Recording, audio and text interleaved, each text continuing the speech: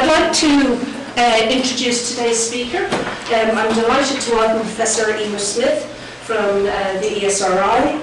Uh, today, Emer will be presenting work on age or stage influences on the transition to junior cycle education um, using data from uh, GUI Growing Up in Ireland. Emer, thank you. Thanks, Darren, and thank you for coming along today. Um, so what I'm talking about today is, is looking at the transition from primary to post-primary education using the two waves of the child cohort of growing up in Ireland. So, as you most likely know, there's a really very large body of research on the changes in school engagement and self-concept over the transition to second level education. But there's still quite a diversity of opinion about whether th what this reflects. Is it the case that it relates to adolescent development, so that as children and young people grow older, there's a decline in their subjective well-being? So is it related to the adolescents rather than the school structures? Uh, a second strand would kind of focus on the lack of consistency between primary and post-primary education in terms of the different curricula, in terms of the very different approaches to teaching and learning, and to the changes in the social relationships between teachers and students, as students move largely from a system where they have one classroom teacher to a system where they have multiple teachers, in, you know, well into the teens. But other researchers, most notably Jacquelynne Eccles, have said that really the issue is not development per se or school per se, but the mismatch between young people's developmental needs in early adolescence and the educational structures they're exposed to. But what I want to question here is whether these changes in engagement are related only to the transition period. And as context for that, we did previous work, the post-primary longitudinal study, which looked at changes as young people moved on past first year. And I'll just show you these first. So this shows you, the red shows you a scale of positive interaction between teachers and students. So it's kind of the extent to which they re received praise or positive feedback. And the yellow shows negative interaction, the, the frequency with which they were reprimanded, given out to, either for their behaviour or for their schoolwork. So you'll see here that it, when you start off in first year, that positive interaction really dominates interact, negative interaction. So you have a kind of honeymoon period in teacher-student relationships. Uh, but really, as they move through first year and uh, into second year, we see an increase up to third year in the prevalence of negative interaction with teachers and a corresponding decrease in, in the level of positive interaction. And so by the junior third year, um, they're more evenly balanced. And if we broke this out separately for boys, you would see that boys experience, on average, equal amounts of positive and ne negative interaction. So as a result of that then, or linked to that, we see a changes in attitudes to school. So as young people move through junior cycle, um, their their, the extent to which they like school declines and the extent to which they like their teachers declines, but not to the same extent. So this was based on a longitudinal study that took a cohort of students as they moved into first year. So it's quite different from growing up in Ireland because growing up in Ireland is an age cohort. So students are followed no matter what stage they're at. So this provides a good way of trying to disentangle age from stage and to look in particular at whether experiences in keeping with the earlier research are distinctive in second year. And especially, that's especially important given that we found before that second year experiences were the, the key year for student engagement. In a way, the turbulence of moving to second level education disguises a lot. In particular, girls take longer to settle in. They're more likely to report missing their primary school friends and their primary school teachers. So in a way that can kind of muddy the waters for really understanding engagement with school. Um, so it can be the case, or at least we found previously, that when it comes to second year, you have two groups of students emerging. Those who are being more challenged by their schoolwork and investing more time in homework and study in response, and those who are drifting or even disengaging. So what I want to do here is to try and unpack that age and stage link. So many of you are familiar with Growing Up in Ireland data. So here I'm using the, the two waves of the child cohort, so over 8,500 nine-year-olds who were sampled from primary schools.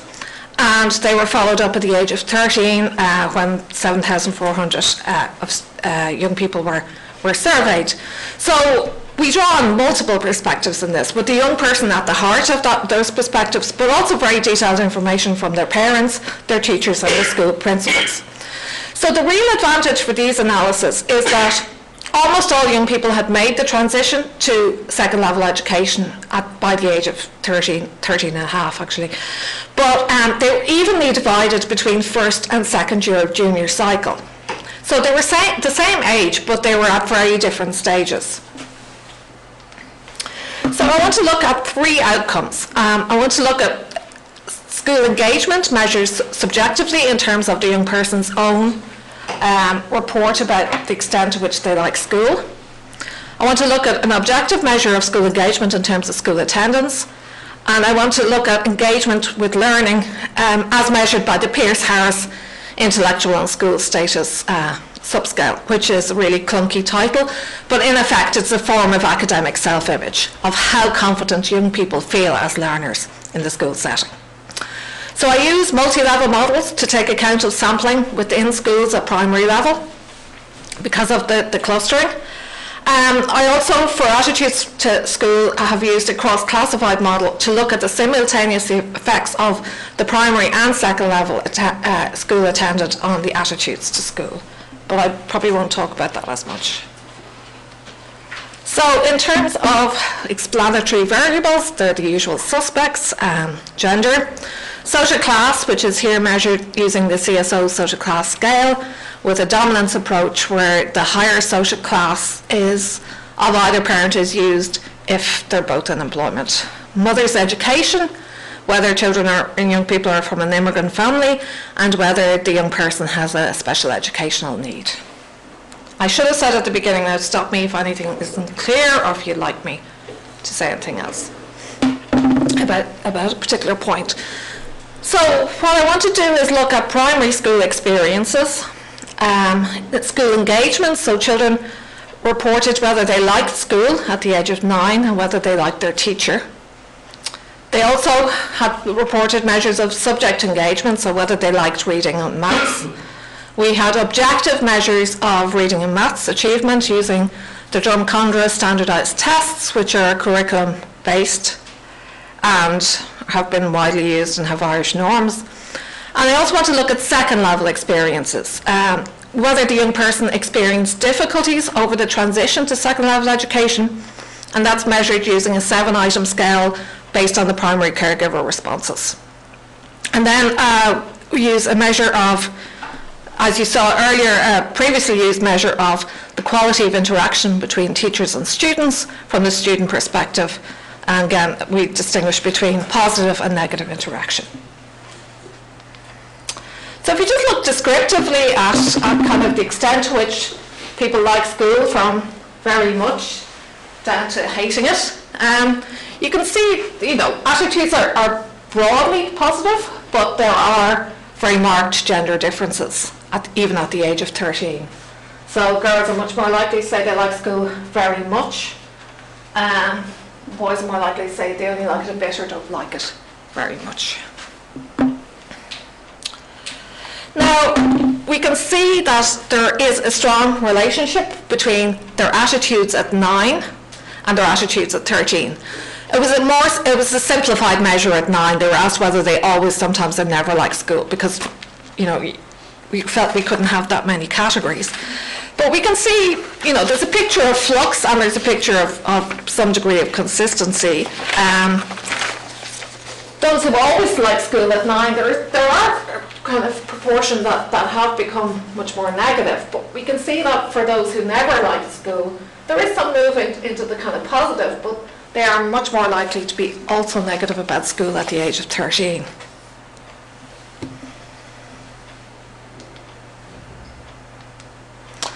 So in terms of using multi-level models, I'm, mostly focusing on the effect of, of year group, but I'll, I'll tell you briefly what the, the models showed.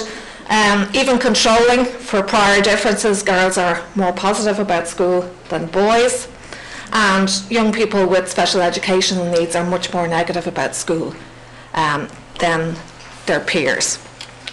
We see that mothers' educational effects are much stronger than social class effects using these measures. Oh. I don't know. What? ah, sorry. I, I, I didn't hit anything, I promise. Yeah, sorry, I can't get the cursor to. Hang on. Okay. Yeah, sorry about that. Um, so, liking school is associated with mother's education and is also more negative among young people from lone parent families. And we don't see any difference between immigrant and um, Irish born young people or parent, whose parents are Irish born. Now we find that attitudes, as the descriptive pattern showed, that attitudes to school at age nine are predictive of attitudes four years later. But so too are other dimensions of the primary school experience. So over and above how students felt about school at nine, whether they liked their teacher is also predictive of later engagement. Whether they liked the, and whether they liked the subjects of reading and maths are also predictive. So these all have additional impact on, on attitudes at age nine. We found an interesting pattern in terms of prior achievement. So it's the lowest group, the lowest achieving group, group, the lowest quintile, have more negative attitudes to school than the others. But there isn't a linear relationship by prior achievement. So it really seems to be that, that, that there's a sort of polarisation with that bottom group having more negative outcomes. We see that tra- having transition difficulties, so having difficulty settling in, making friends and adjusting to the new school setting is associated with being more negative about the new school. And we also see strong effects from the, the nature of interaction with second level teachers. So it's not just where students came from in terms of their earlier experiences, but also, also how they were integrated into the new school community. So those who have uh, kind of received a lot of positive praise and feedback, positive feedback from teachers are much more positive and engaged about school, while those who have received negative interaction are much more negative about school, which is very consistent with what you'd expect. So the interesting thing is when we look at the net effect of, of year group, we can see that people, all else being equal and controlling for all of the things I've just said, that those in second year are more than two and a half times more likely than those in first year to fall into this hating or not liking school. Um, they're, they're more likely to fall into the other category. So they're, they're really much less likely to say they, they like school very much and have much more negative attitudes to school than their peers who share the same characteristics. Some of this is accounted for by adding in the kind of role of, of teacher-student interaction.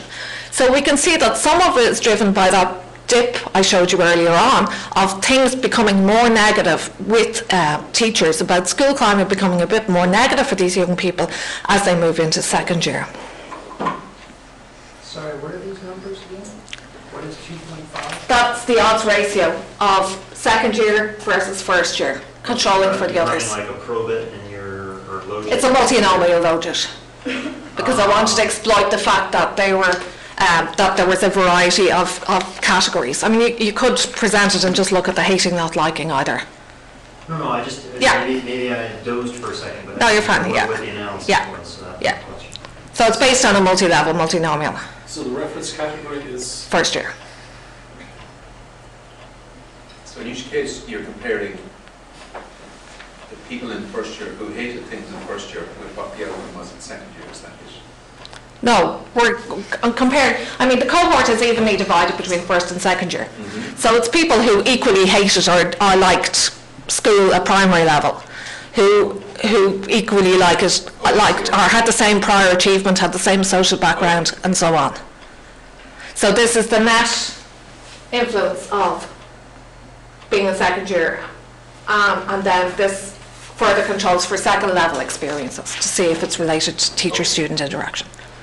So Okay. the, the, the kids in primary school who didn't like school are two and a half times more likely to hate it in the second year. No, Sorry. no, no, this is the second year versus first year. So if you're in second year, Mhm, Okay.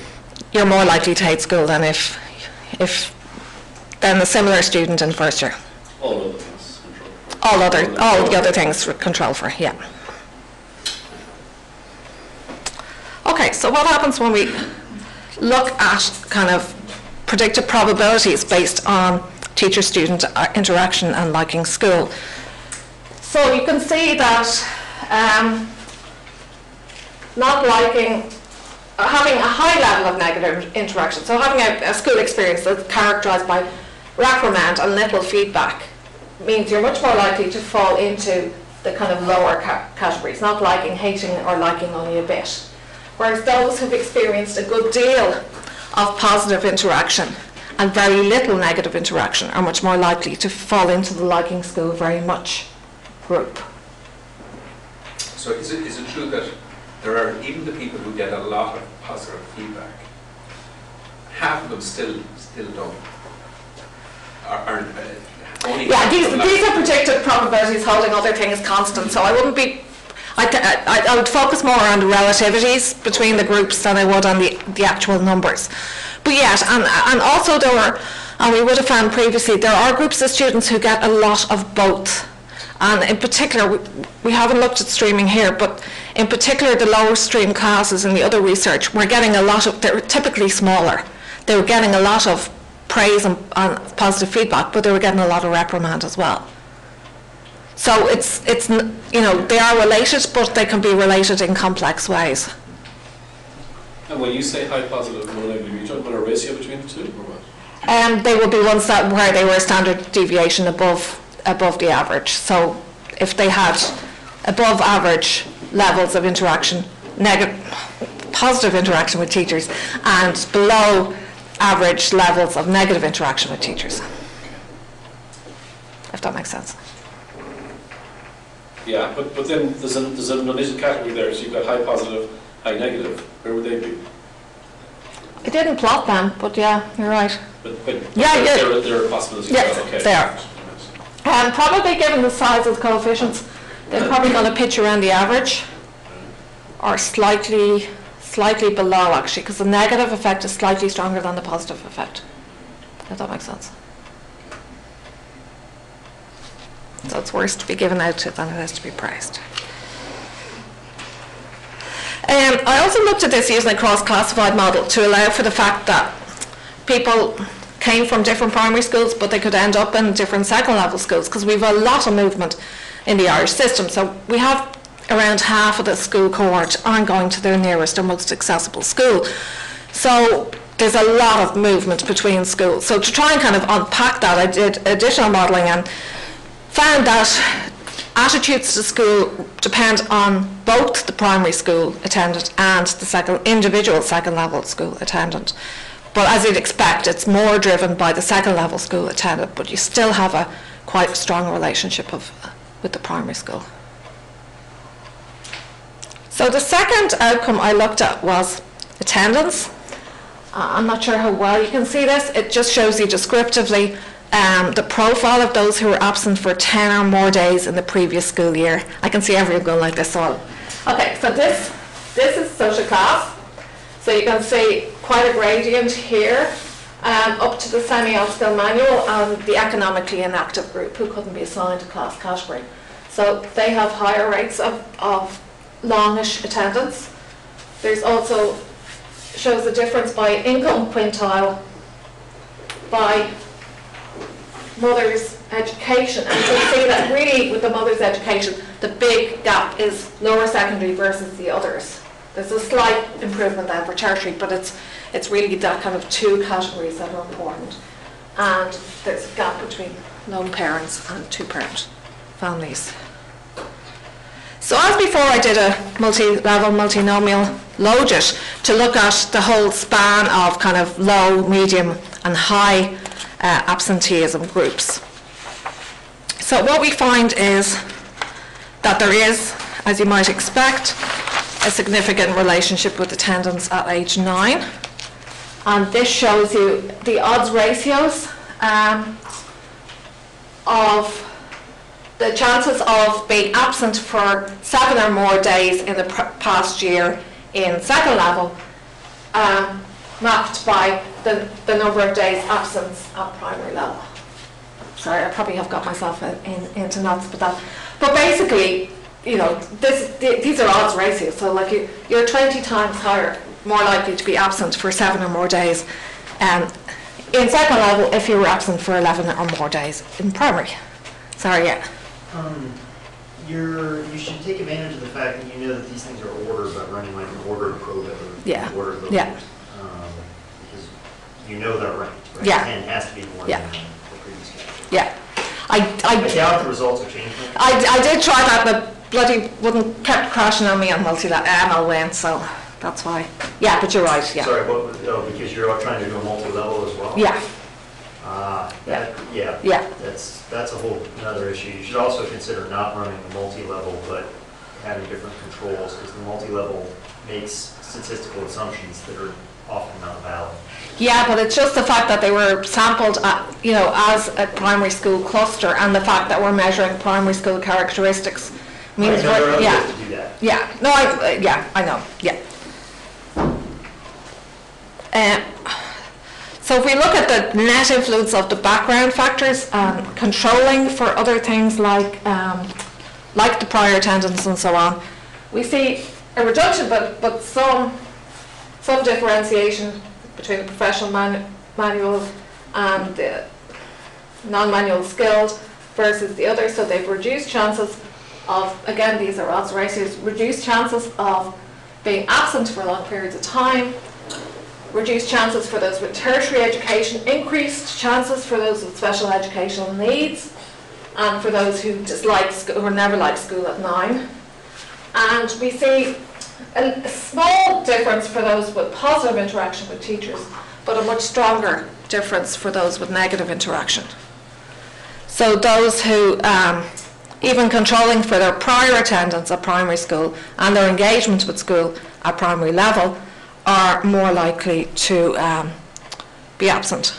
Can you control for stuff like um, whether they have positive or negative interactions with their parents as well? And, and You could, yeah. You know that? I haven't in this.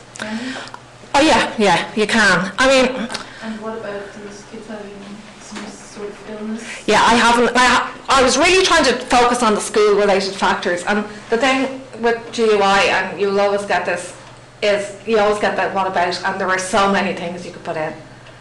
That you're absolutely right. But I'm trying to look on attendance and the way it's structured as a, as a measure of engagement rather than whether it's driven, but you're right, to, to look at it properly.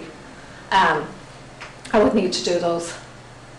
But I'm, I'm not entirely sure what direction the relationship with parents might have.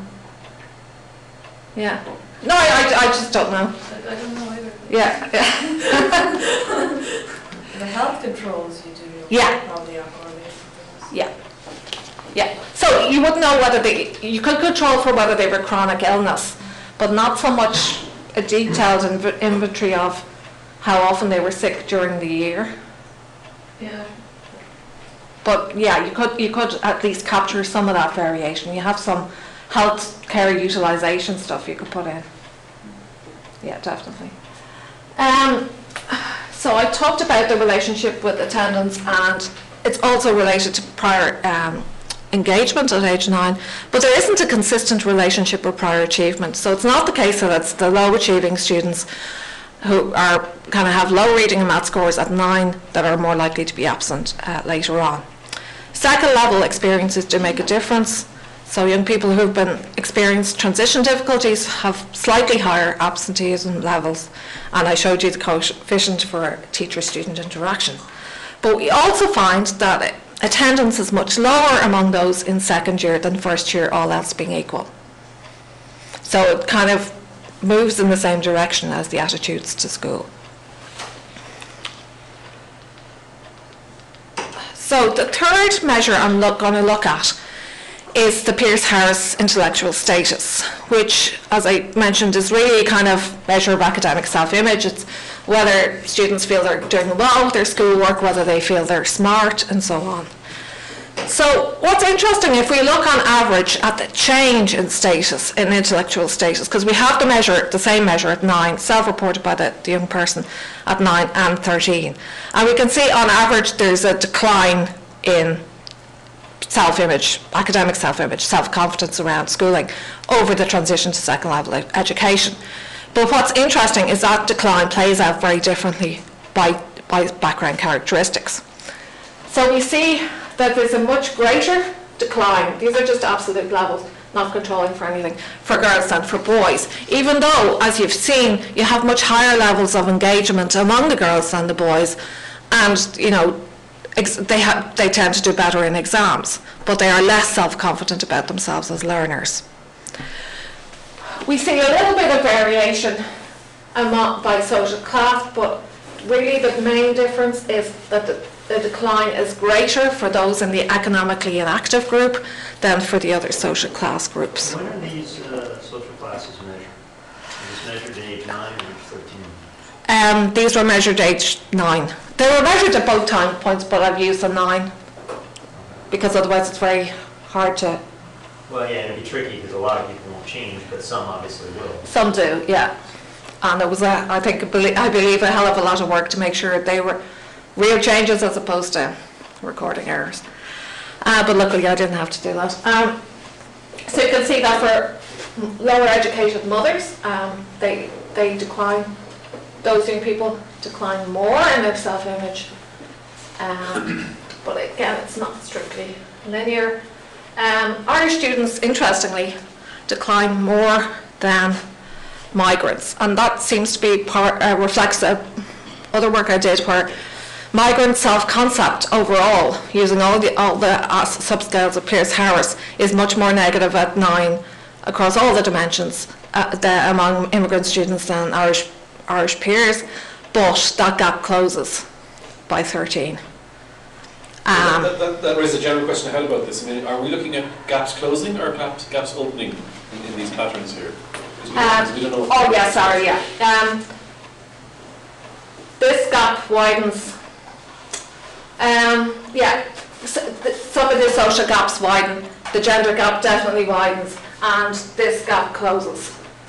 Um, and for, for young people with special education needs, the gap widens. Well, that's because you're taking into account the level at age nine, right? Because all these things are negative, Yeah, but the fact being that the Irish were above at nine, and you see this negative Yeah. effect is why it closes, right? yeah. But it, yeah, that it drops more for, for some than others. So when we look at changes uh, in model terms between 9 and 13, we can see that there is there is some stability in that some children, children and young people who are confident at 9 are also confident at 13, but there is a good deal of fluidity. Um, and we can see that it is influenced by primary school experiences, by whether they liked school, by whether they liked their teacher, by whether they liked reading and maths. And maths achievement has a much stronger impact than reading achievement on how confident fe- people feel as learners. And that wouldn't be exceptional in the Irish context. That other stu- studies have shown that maths emerges as a bit more of a sticking point for young people and as a source of potential difficulty around engaging with the curriculum overall. And is that different by gender, that maths issue? No. It's much more so The attitudes, attitudes to maths differ, but it, it doesn't drive it any differently, Okay. as far as I recall, yeah. And boys were doing a bit better in the, in the Drumcondra maths at nine than girls were. So it's also influenced by second level experiences. So young people who've experienced difficulty settling into the new school setting um, are less confident as learners. Um, it's also influenced by how difficult they find the new school subjects and how interested they find those subjects. So we asked about English, Irish, maths and science. Um, so all of these had a, an independent effect on self-image. So j- again, just to show you the predicted intellectual status by teacher-student interaction. Um, Sorry, ju- yeah. um, you you said you you asked Irish, English, maths and science. yeah, But they would be largely primary subjects. they are. But we, well, okay, we asked Irish, English, and Maths because they all had to take them uh, at second level, except the small group that had exemptions. And we asked science because we were kind of interested in the whole maths science relationship over the primary transition. But it wasn't possible to look at the other subjects in any detail because of subject choice meant the numbers dropped. And also because there's a Darwinian fight for including questions in GO, GUI. and nobody would let me ask about other subjects. Does that make sense? Well, yeah, but, but that, that's when the, the change would be. Well, when it's a new subject, yeah. Be exposed to new subjects. Yeah, yeah, you're right. And we've, we've done other work on that. We find generally that they're quite positive about the new subjects to which they're exposed, particularly around kind of technological subjects where they, where they have access to them. Um, and in fact, sometimes having been exposed to a subject area in primary level can cause its own difficulties because how teachers handle that transition can differ. So some teachers will say, forget all you learned about maths or whatever at primary level, while others trying to try to kind of find where kids are at and then build on that. So we certainly found that um, in the other work that you know say people's confidence in Irish could differ depending on the primary school they went to, and so therefore the transition could be more or less easy into into a new Irish class with people with different Irish skills, for example. So it's it's not always an advantage to have had exposure to the subject before. But you're, you're right, it means we can't say much about the other subjects. So this shows, um, again, predicted intellectual status. Um, those who had positive relations with teachers and very few reprimands, the average on both, and those who have high levels of reprimand and low levels of positive feedback. So you could see quite, quite a difference in self-image by teacher-student interaction there. And as Philip said, we don't have the high, high so we can see that year group makes a difference, that all else being equal, those in second year have lower um, intellectual status scores than those in first year, and that gap isn't accounted for by teacher-student interaction, though the level of teacher-student interaction is, is quite different between first and second year. So just to conclude, what I've tried to argue is it's important to look at the transition process and how young people settle into cycle level education. But that also stage within junior cycle matters. So that we see the second years are much less positive about school and their capacity to cope with schoolwork than the first years. And this difference at least partly reflects more negative interaction with their teachers. We find too, which we haven't been able to look at before in Ireland, that engagement at primary level has longer term effects on second level engagement. But that over and above that, that the second level school climate, particularly as measured in terms of the quality of teacher-student interaction, is highly predictive of student engagement across different dimensions.